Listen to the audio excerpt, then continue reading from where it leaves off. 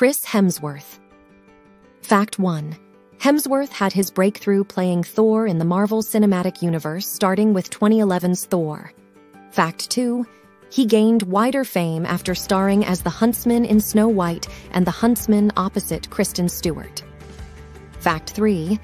Hemsworth trained extensively for action roles, gaining 20 pounds of muscle for Thor and losing significant weight for In the Heart of the Sea.